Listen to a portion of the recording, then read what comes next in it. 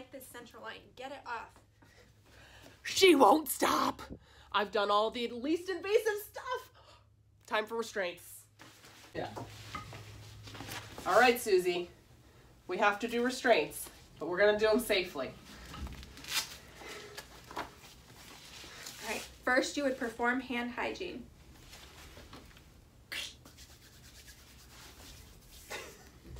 Then you're going to perform two patient identifiers. Are you Susie? What's your date of birth? Yeah. Apply padded section of the restraint over the wrist. Check to ensure that the restraint will not interfere with any IV tubing. Secure the restraint with the Velcro strap. Pull the unattached strap through the D-ring buckle at the end of the restraint. Tie straps twice, creating a square knot.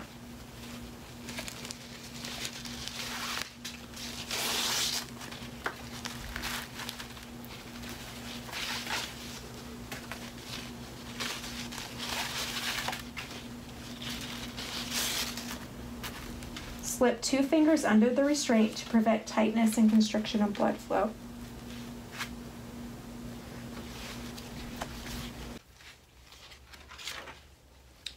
Attach both ends of the restraint under the movable portion of the bed frame by using a half bow knot or slip knot. Correction, the restraint should be attached to a non-movable portion of the bed frame.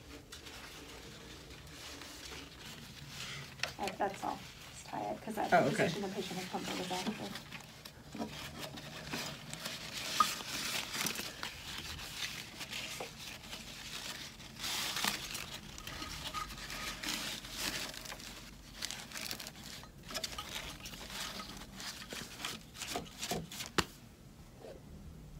Ensure to position the patient for comfort. Are you comfortable, Susie? I guess so. Remember to verbalize any potential abnormal findings to the physicians. You must be able to release the restraints by pulling on one strap quickly. Please refer to policy for indications of restraint, documentation, monitoring, and ordering criteria.